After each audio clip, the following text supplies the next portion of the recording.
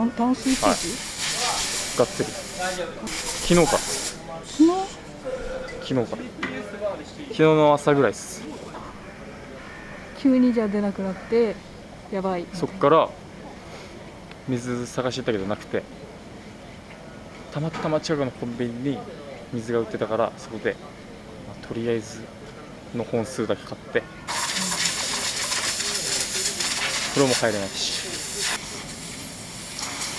洗濯トイレ風呂。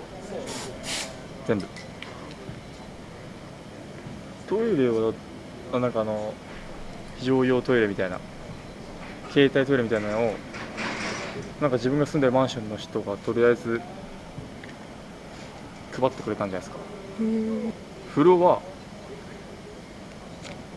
昨日はみんなで入り行ってで今日は多分嫁が子供連れて混むからめちゃくちゃ、うん。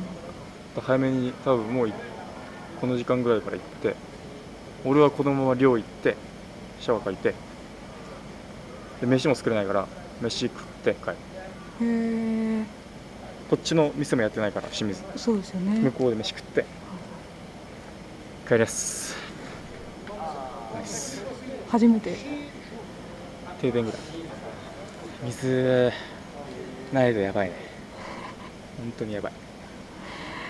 えー、清水区民の皆様僕も断水中で、えー大変ですが、えーみんなで復旧するまで力を合わせて頑張りましょう。